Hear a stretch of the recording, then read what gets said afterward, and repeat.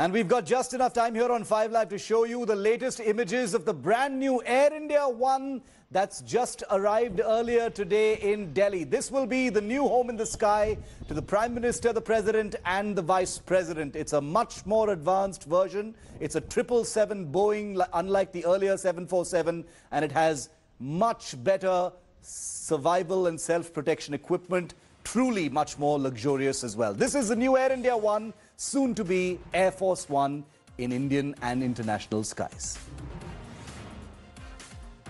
Well, that's it on 5 Live. Thanks so much for watching. See you at the same time tomorrow.